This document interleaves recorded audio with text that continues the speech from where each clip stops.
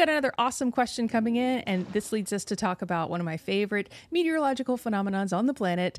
Hey, Juliana, are the two waves close enough to interact with each other, which lets us weather nerds talk talk about the Fujiwhara effect? woo, woo, woo. That's what we need too. We need uh, the fish storm like sound effect and, and look, and we need a Fujiwhara. We do, we do. that would be that would be something. I have not myself, uh, at least, uh, seen the Fuji like in real time. I guess. Yeah. Um.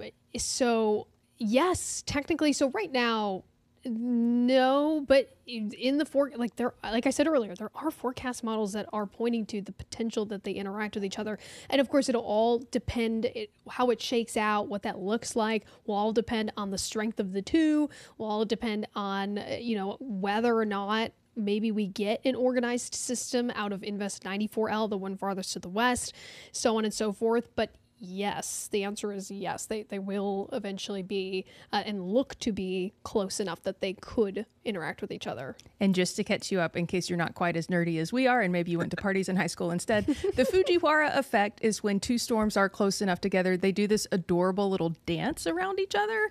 And so that that's what if you uh, look it up on satellite, there's everyone every time it's ever happened, they record the satellite and put it on the internet. So if you're interested in the Fujiwhara effect like we are, there's plenty out there to enjoy. I don't think these are quite close enough for that, and I think they're moving in a more homogenous direction. So I don't, I don't think we're going to get it out of these two, but it will be fun Yeah. to watch. Yeah. Of course.